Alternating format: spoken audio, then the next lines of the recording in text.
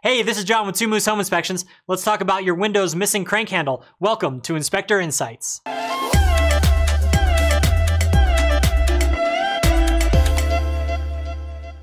Another name for a crank operated window is a casement window. Now that crank is what's required to be able to open and close that window. Not only are there issues with the internal mechanisms, but most of the time that crank arm is gone. And why is it gone?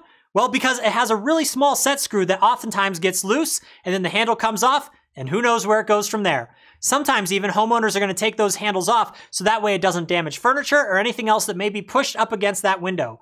In general terms, that crank handle can be replaced at a normal hardware store. If you have any additional questions, you can find your inspector's contact information on your inspection dashboard. Thanks and have a wonderful day.